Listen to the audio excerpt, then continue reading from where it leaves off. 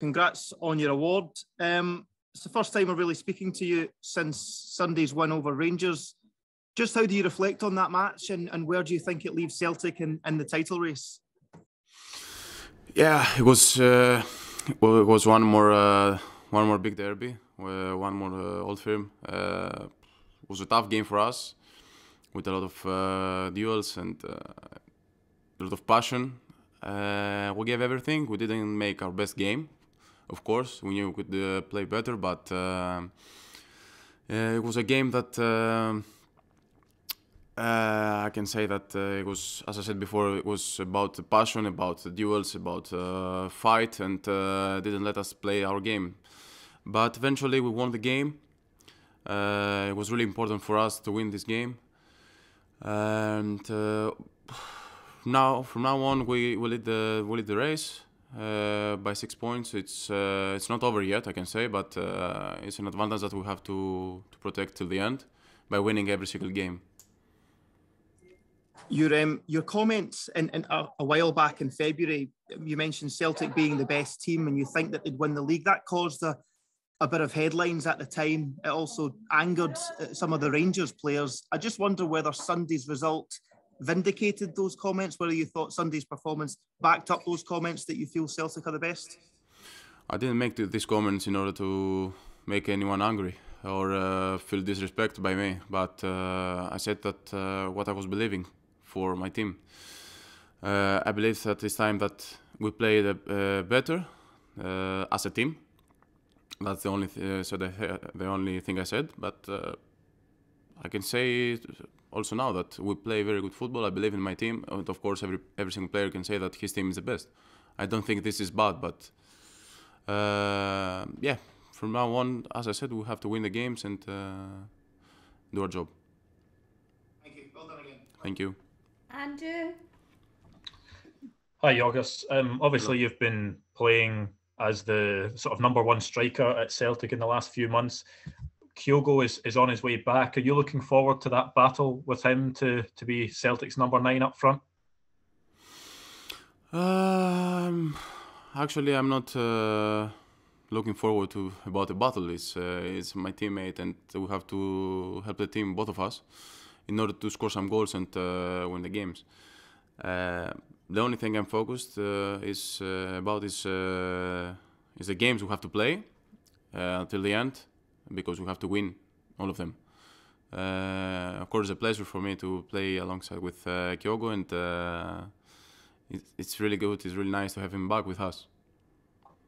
What do you think it is about the last few months, the last couple of months, that have brought out the best in you at Celtic?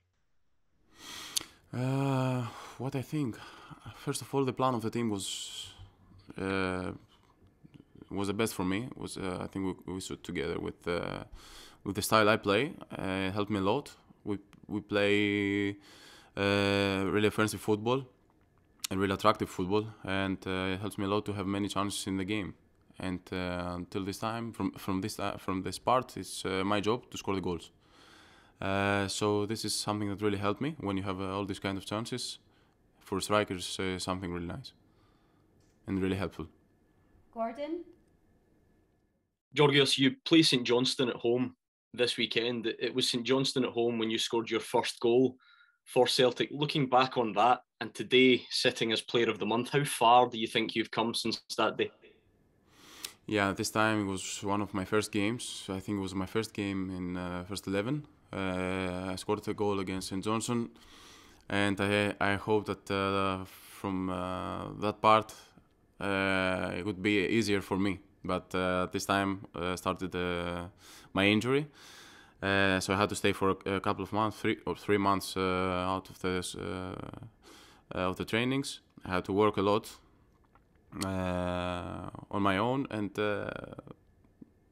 I can say that uh, from second part of the since the start of the second part of the season, uh, I'm really uh, fit, strong, uh, being myself, and uh, it's something that I was looking forward to happen on on October. In terms of the title race, Rangers obviously play in Europe tonight, which means they play in the league on Sunday. You guys get the rest and play on Saturday. Do, do you think that makes any difference? Does that have any bearing on the title race between now and the end of the season? I don't. I don't think it uh, plays any any part of, uh, of the race because even if they didn't have any game, we have to win our games. Uh, in the end, if we win our games, we don't have to look about other teams. So that's our uh, mentality right now. Thank you. Cheryl? Hi, George. It's been uh, so close to the end of the season, but with six games still left to play. How do you keep the momentum going game by game? Uh, as we did so far, it's uh, until now we have to focus in every single game. We won uh, the old firm, but uh, since Monday we focused on the next game, which is uh, against St Johnstone. This is something that we will do every single week.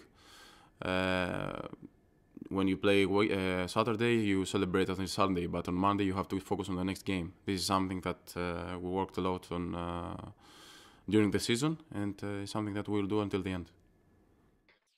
In your goals this season, all 12 have been one touch finishes. Is this something that you specifically work on? Yeah, I work a lot on my first touch uh, finish, and uh, also I can score with more touches, but I'm a striker. whenever I have the chance to score with one touch, I will do it and I try to improve even uh, even more on my first touch. Uh, and uh, last season I didn't score only with one touch, but this season it happened to score only with my first touch. Maybe until the end we'll score some goals, but actually I don't care how many touches I will need to. The point is to score. And finally, can I have Colin, please?